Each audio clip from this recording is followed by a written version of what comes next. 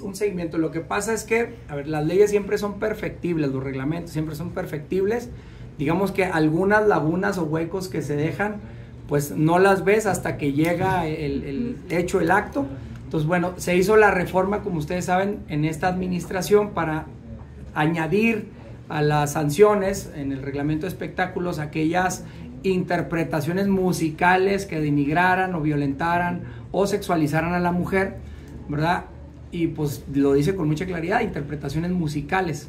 El tema es que tenemos comediantes, como lo es este, este cómico que estuvo en la ciudad de Chihuahua hace unas semanas, Brincos Dieras, pues que básicamente hace lo mismo sin música, ¿no? Pero al no decirlo específicamente en el reglamento, pues no podemos actuar nosotros eh, imponiendo, aplicando pues alguna sanción al, al, comediante en cuestión. Entonces vamos a comenzar a recorrer el camino de eh, ampliar este reglamento para poder, digamos, pues también añadir esta, esta eh, pues variable ¿no? de espectáculo y poder actuar con, conforme a reglamento y pues que al final de cuentas lo que queremos no es multar, esto es, es bien importante decirlo, lo que queremos es pues que en Chihuahua se respete, ¿verdad? Se, se promueva, como lo decíamos ahorita, no solo la inclusión, sino la igualdad eh, de oportunidades para hombres y para mujeres y se respete el pleno de los derechos que tienen las mujeres.